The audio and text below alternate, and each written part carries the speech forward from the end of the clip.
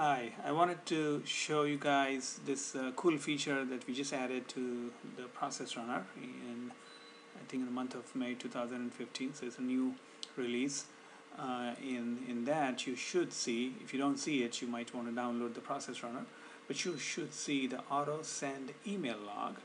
And as the name suggests it will uh, send you the log of the process runner uh, automatically right in the email. So if you are a you know user a scheduler using a scheduler this is this is pretty cool feature because you don't really have to look at it what happened.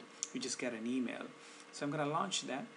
Now uh, the way it does we have a little utility that's included as a part of the process runner which kind of schedules a job that will send you an email automatically. So this is what you see.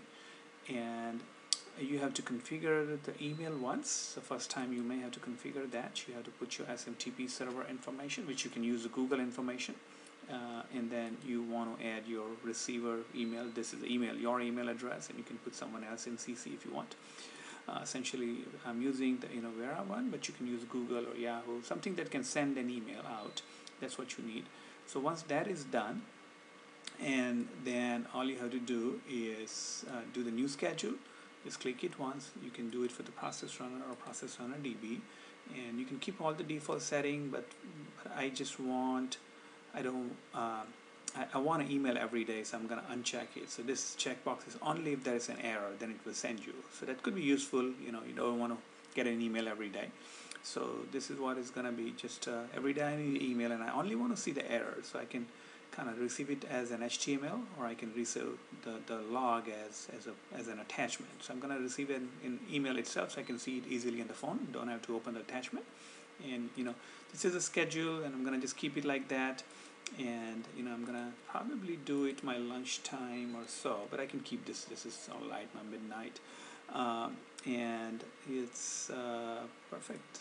And all I have to do is just save it and then that's it. I'm done. This is, I'm going to show you how I get it. This is uh, one of my email program that I'm using. So there you go. You see that yesterday I had about 31 errors and I did a lot of things. It looks like I had a different kind of errors. So you can see that. Looks like there was a problem in one of the hyperlinks. So then there was a problem. And I think that has been fixed. I know that. So I should not have any more errors today.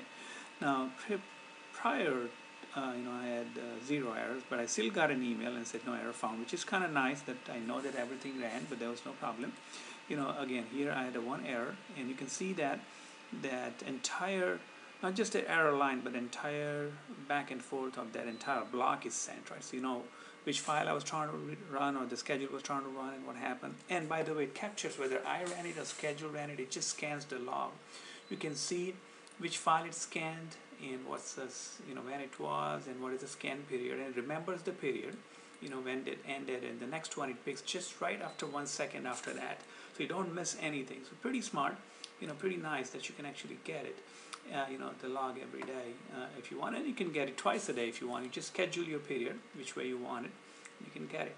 Again it was in the process runner and you can directly access it directly from tools menu auto send email log.